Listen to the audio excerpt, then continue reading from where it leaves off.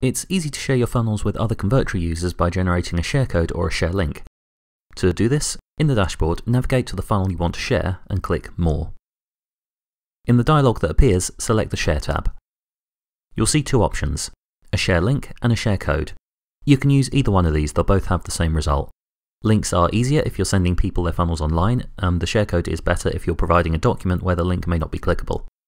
You can automatically copy the link or the code to your clipboard by clicking them. Any Convertri user you give it to will be able to import a copy of your funnel. If you've got a link and you want to import your funnel, all you need to do is click it. If you're logged into Convertri, you'll automatically be taken to the app and asked which domain you'd like attached to the funnel. If you've got a share code and you want to import a funnel, in your dashboard, select Import Funnel. Add the funnel name,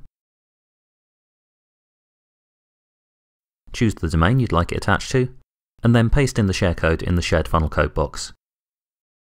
Click Import, and the funnel will be added into your Convertri account.